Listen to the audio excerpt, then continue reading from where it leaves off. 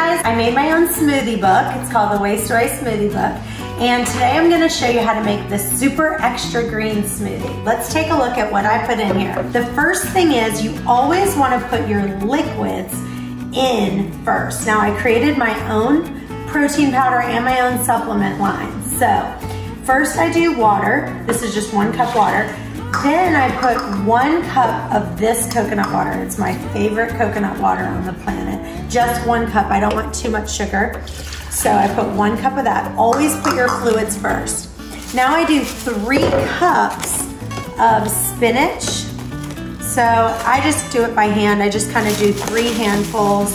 I do three handfuls of spinach and three handfuls of kale. Baby kale, always organic. Everything I use is organic.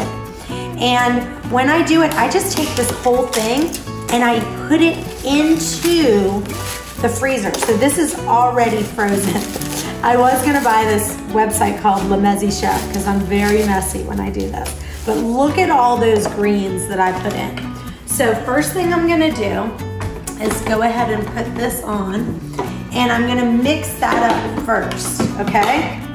So this is the newer one. You can put it on, I like to put it on 10.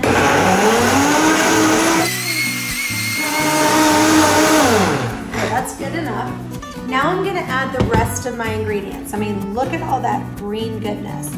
Now, I'm gonna do turmeric. I just take turmeric, chop it up, right there. I put a little bit more than five pieces, but that's about the size. And then here I take one apple, chop it and put it in there, and about one celery stalk. Throw that in there, and then one half of a frozen banana.